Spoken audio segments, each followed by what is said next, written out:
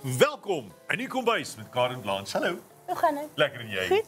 Dis verskriklik gesond. Hier is groenigheid. Man, hier's basies basies net groenigheid. Alles is groen, blarerig en gesond. Wat 'n wonderlike môre.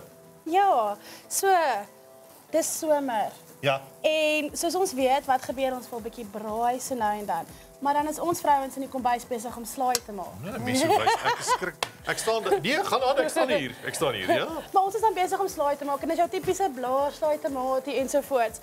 So ek het net gedink, kom ons doen ietsie wat ons op die braai kan doen waar ons ook buite kan staan. Iets op die braai kan hê, bietjie kan participate in die aktiwiteite van om kos te maak saam met Dis julle. die ding, die laaste wat jy wil hoor is jou man wat sê, "Ek gaan nou braai. Hoe ver is die pap en slaai?" Presies. Ja.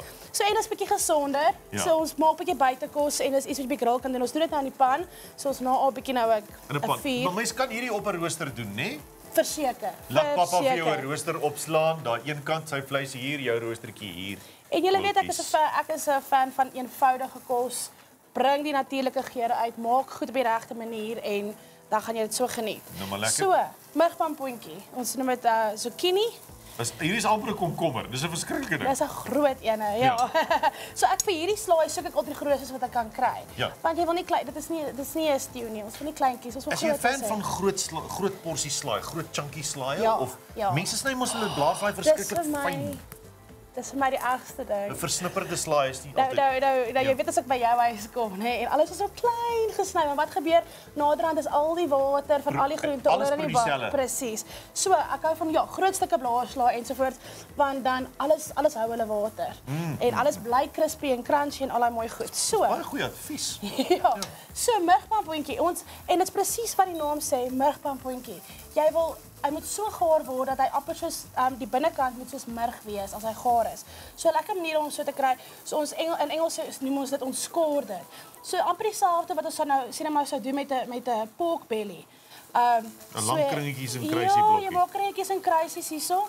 Um en dit gaan maak dat die hitte mooi deur kan kom Tot daar Tot waar die baie moet murgsag word. En Ja. en dit lyk ook natuurlik mooi. Baie belangrik. Ek meen, Sout ook want ons moet onthou sout is daar to enhance the flavor. Dit bring die natuurlike geur van enigiets uit. So jy wil hulle voor die tyd bietjie sout. Mhm. En dan natuurlik en dan kan hulle grill toe gaan. So okay. dood eenvoudig. So maklik Dan- dit. Ja. Dan braai jy 'n Kyk hoe mooi. Daai is nogal nou- oulik. Kyk hoe pragtig lyk dit. So dan impress jy nou nog ook. Daai is baie Ons het lekker. paar wat ons hier gedoen het wat ons nou nie geskoor het nie. En kyk jy kyk hoe mooi lyk dit. Dit is soveel meer Ja ja, as jy hom lyntjies hierdie sonder sonder die Ja. lyntjie op sny, ja. So. Nou, nou. Nou. Nou is ons halfpad. Nou waar Ja. gaan ons nou heen? Le let's assemble.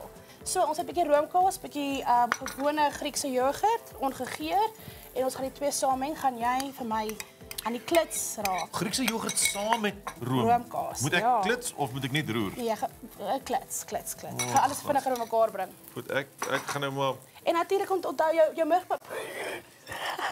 onthou ek ek het 'n F hou jou hou jou dag ek het 'n F kruis in in kosmeng, ja. Tog maar, maar hier neer. Dit kan ek op neersit. Daar's hy. Jy gaan meer beheer. jy. Jy gaan meer beheer. Ek is bang besigheidspad en ek se TV-aanbieder. Moeilik. Jy's die talent. Ons moet jou mooi hou. Nou braai. Daar's hy. Ja, so nou nou hoe mooi nou, nou vinnig. jogurt Daar's hy. en en en roomkaas. dis baie lekker nou nee. Dit lyk eintlik nogal heel Heel lekker. eenvoudig. Wat net 'n lappie kry. Ja. As ek nou by die huis was, ek nou die vinger, Vinger afgelek het. Ja, die mense gaan kwaad wees as jy. Bietjie. Ja. Suurlemoen sap. Hele suurlemoen. Ja ja. Skus. Nee. Daar's hy. Klein bietjie suurlemoensap. Nou baie mense sny die suurlemoen in die helfte, ek kwart. Ek hoef my dit hoef my wat meer sap uitkry as ek hom in kwarte deel. Daar's hy. Gaan jy dis my inmeng? So, ek Suurigheidjie het al die net hierdie. meng gedoen vir jou. Suurigheidjie net hierdie breek, ja. Ons gaan bietjie um garlic insit en 'n klein bietjie um anchovies. So dis vir souterigheid. Nog vol en Ah, anchovies. ja. Dis altyd 'n skrikkerige ding 'n anchovie, hè? So ek het net twee gevat, fyn opgekap en dit help met daai souterigheid en dit verdiep net jou geur bietjie. Ja. Daar's hy.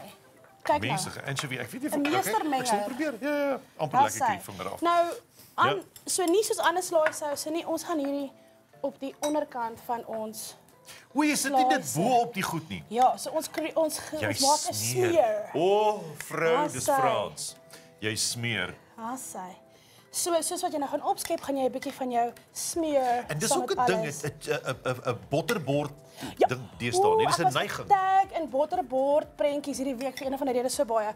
So ons kan dit ook op 'n stadium hierso doen. So wil jy botter ook nou smeer, dan kan jy neute bysit, verskillende geure, sout, Maar jy verskillende smeer dit net so. Ja, yes, smeer hom en dan gaan jy nou om dit, sal jy jou koekies en jou beskuitjies en so en dan jou vleisies wat ook al en dan 'n botterbord. Botterbord. Baie snaaks. Ek sit altyd bekommerd oor die oom met die snor wat wil double dip in daai botter as ek nou nou daai iets wil deursmeer. Mhm. Maar net dis genoeg lepeltjies my probleme. bysit. Maar hier is iets heeltemal anders en heel lekkerder. Daar's hy.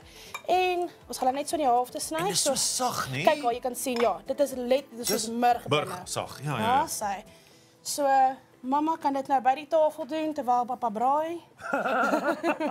kan ons almal 'n bietjie meer tyd saam spandeer. Ag ek ek's mal oor die feit dat jy dit nie uh, simmetries pak nie. Dit is vir Ja. my fantasties.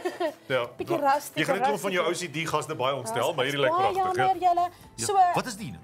So hierdie is net amandels, fyn gekap. Jy kan enige neut gebruik wat jy regtig wil. Oh. So dis 'n bietjie net so ek leer ook altyd die stu- ons studente, so ons het nou twee sagte goed hier. Ons het ons Tekstuur. Tekstuur, ons bietjie crispy, crunchy, tekstuur hê. so Ja, ja, ja. bietjie spriet eie. Ja, groen As hy varsigheidjie. kom nog groen. Dit's nou baie witie. So ons het 'n bietjie eksotiese sampioene gevat Ja. en ook net gebraai met 'n bietjie sout. So dit bring net 'n bietjie ekstra ietsie ekstra hierso. Kyk Mensig mooi. maar En nou lyk dit so al al eenvoudig. bitter lekker.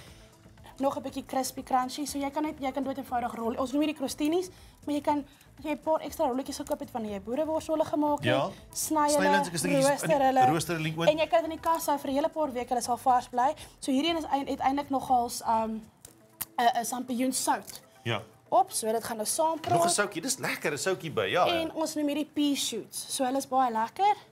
Um is maar eintlik maar net 'n micro herb wat ons gebruik om alles mooi te Pea maak. shoots. Ja, so. Ek gaan nie ja. praat oor dit nie. Ertjie, ja. So dis 'n Erk- baba, o, dis baba ertjie, ja, ja, ja. ertjieplantjies, ja. Ja.